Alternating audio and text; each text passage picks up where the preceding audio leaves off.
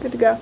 Hey, Prehistoric Pets fans, we got another clutch here today. What was the breeding on this one, Tim? It was a lavender tiger to a purple sunfire. A lav tiger to a purple sun. So we should get some albino sun tigers, and according to our theory about lavs and purples, which we've seen over and over again, we should only get lavenders and purples in this clutch. So uh, let's dig in and see how it goes. Pretty small clutch. She's a tiny female. She only weighed 14 pounds. 14 pounds, no dwarf in her. No dwarf.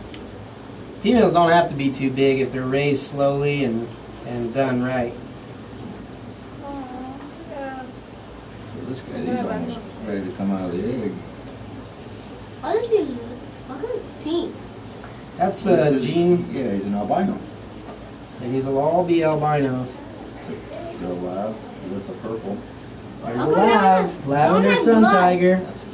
They're all gonna have, they're all gonna have some blood because there's veins that feed the babies inside. What we're doing is opening these eggs up because since the one hatched, we know that the rest of them are ready to go. You can see that the eggs are starting to shrivel and dimple in, and that means that they're getting ready to hatch.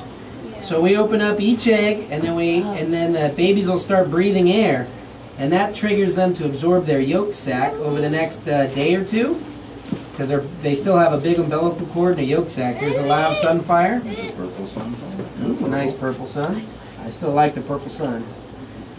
And uh, once they absorb their yolk sac, they'll come out on all by themselves in a day or two. We'll have bouncing new babies.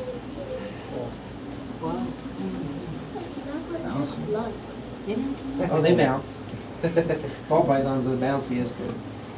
You never seen those bouncy balls? Mm-mm.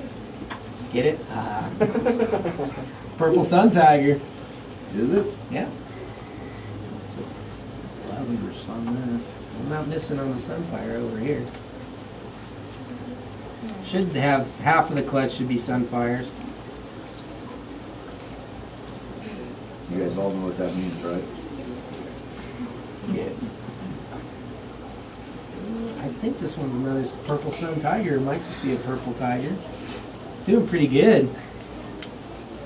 If you guys remember your high school biology, you can predict the outcome of the babies, more or less, by using Punnett squares. So in this clutch, we should have lavender albinos, purple albinos, purple sunfires, lavender sunfires, uh, lavender sun tigers, and purple sun tigers. Did I miss anything? Wow, that is a really pretty. I don't know if you guys can see it, Yeah, that's what they- but boy, that is a really nice dark purple sun. That's a really dark one.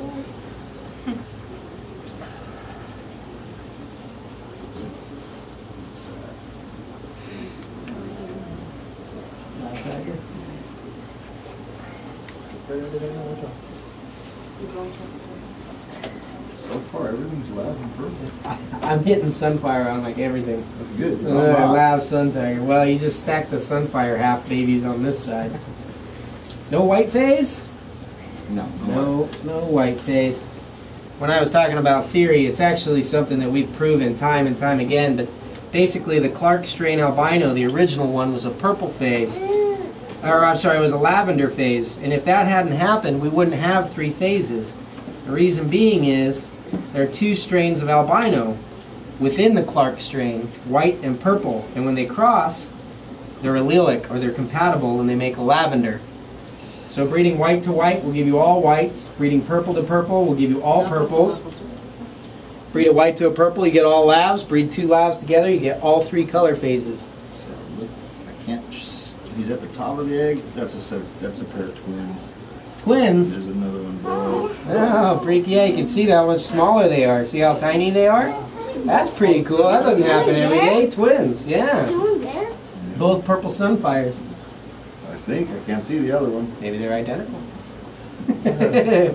all right, well that's it. Cute little clutch from a nice little female. Did you guys all have fun? Yeah. All right, very cool. Come back in a couple days and you'll get to see the babies So all they, out they of the stay in the eggs. eggs for a little bit longer? Just about two days there, just peeking out. Yeah. Just a, a day or two longer while they absorb their yolk sac and then they'll start coming out. The one that opened up first, he's probably going to be ready a little sooner because he's been breathing all day long. Look at this guy peeking out, cute little twin saying, hey guys. You see him? Look how tiny he is. Mm. Cute little guy.